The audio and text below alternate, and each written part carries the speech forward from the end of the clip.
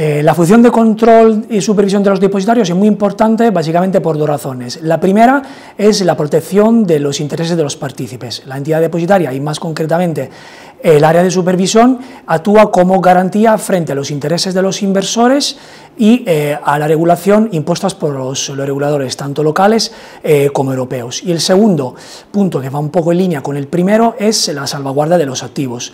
El depositario, después de la introducción eh, de, de UCI 5, tiene una responsabilidad cuasi objetiva de la custodia de los valores depositados en su entidad. Por tanto, el área de supervisión tiene que garantizar que los vehículos asentados en las cuentas de custodia de, de las ICES y de los fondos de pensión estén perfectamente conciliados y custodiados. Básicamente las principales funciones de control serían tres. La primera es lo que llamamos comúnmente record keeping, es decir, el registro de todas las posiciones custodiables y no custodiables de los vehículos depositados.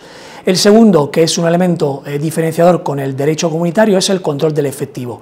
Eh, el área de control del depositario es el único autorizado en eh, mover las cuentas de efectivo de las ICES y de los fondos de pensiones. Y tercero, aquellas tareas de, cumplimiento normativo relacionados con la supervisión, como puede ser la conciliación de tesorería y deposiciones, el control del valor liquidativo, y eh, aquellos controles relacionados con los límites legales específicos de los folletos. Y también, adicionalmente, el control eh, de los procedimientos de la entidad gestora, como puede ser el procedimiento de suscripciones y reembolso o eh, del control del valor liquidativo. Desde nuestra entidad destacamos varias tendencias. La primera de ellas es una mayor especialización de los equipos de supervisión, acompañada de una mayor inversión por parte de los depositarios en cuanto a tecnología y a recursos. Segundo punto y tendencia sería eh, la adaptabilidad a un entorno normativo muy cambiante. Eh, la entidad depositaria tendrá que hacer frente, y más concretamente el área de supervisión, a los varios retos regulatorios como puede ser la modificación de la directiva UCI 5 y FMD, la introducción del reglamento MICA que prevé eh, la custodia de los criptoactivos y una posible introducción en el marco normativo español del préstamo de valores. Y el tercero, que quizás es el más importante, una clara separación entre gestor depositario del mismo grupo.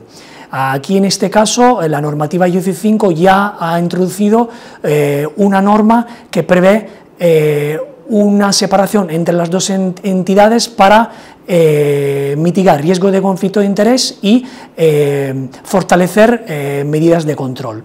Desde nuestra entidad destacamos la, importancia de tener eh, un, depositario independiente y con presencia global que puede acompañar las sociedades gestoras en un crecimiento eh, seguro, controlado y acorde a la normativa vigente.